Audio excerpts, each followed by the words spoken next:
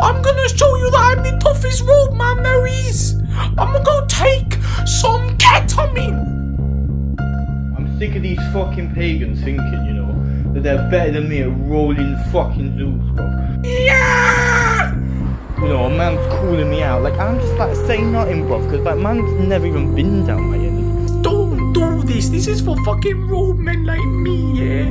Just lit two boxes of Smarties, bro. All with just a ski mask and a shank. What, what, what you after, bro? Got that heroin in it. Nah, nah, I ain't got none of that shit no more. It's, it's all gone, man. I'm so angry. Dodgy Dave. He's dead. The greatest high of all. Fucking murder. You know, everyone knows that, like, Jersey is on a drug thing, a mad drug thing, bro. So man's here, you know, man's been here for the past couple months, you know, on a quick drug mission, bro.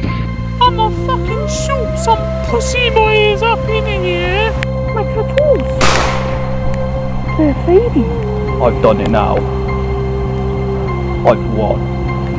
I've become the final boss man.